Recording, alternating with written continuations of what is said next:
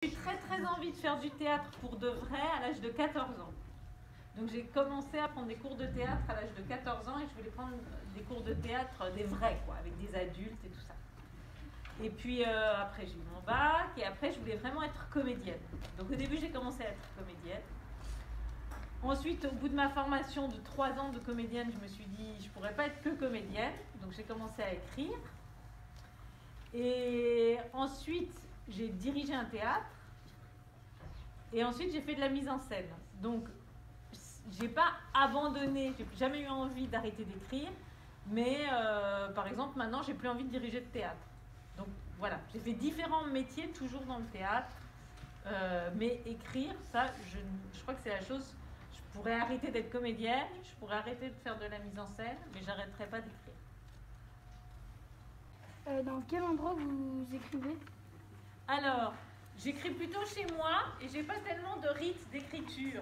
Il y a certains auteurs, ils peuvent écrire que sur euh, avec un certain stylo, certains papiers, tout ça. Moi, j'écris avec l'ordinateur et j'écris plutôt chez moi. Et je peux aussi écrire au café. Et, je peux... Et madame? J'ai pas tellement de rites. Voilà. Mais ça vous arrive aussi d'écrire à la main? J'écris les notes à la main, tu vois. Pas, pas la pièce, mais les notes autour. Euh, quand, quand je pense à certaines choses, quand je me dis qu'il faut que je lise tel livre par rapport au fait d'écrire telle pièce, euh, les notes autour, ou les notes sur les personnages. Les- autour, c'est à la main, mais la pièce, c'est directement à l'ordinateur. Et pourquoi du théâtre? Parce que j'aime beaucoup l'incarnation. J'aime beaucoup quand on incarne quelque chose. Ça vous dit, c'est clair pour vous ce mot? J'aime quand quand les acteurs jouent devant nous. Euh, j'aime ça. Et quand j'écris, j'essaie que les personnages soient incarnés. J'essaie qu'on puisse rentrer à l'intérieur des personnages. Voilà.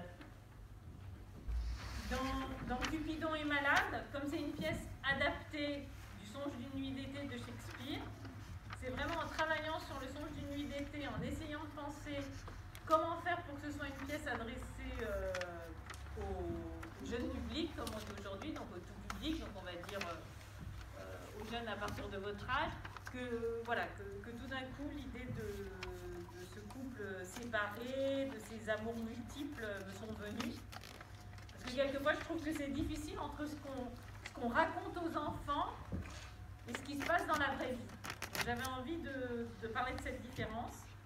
Et, dans- et puis on a sauté, si les parents sont aussi divorcés, c'est parce que c'est une commande d'une jeune femme metteuse en scène et qui me disait euh, qu'elle voulait parler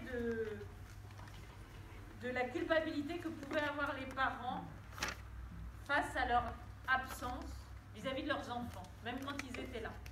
Et pour elle, c'était beaucoup dû à la séparation. Donc j'ai reparlé de ça. Mais, mais au-delà de ça, il y a forcément des choses de la vraie vie qui passent dans les pièces. Forcément.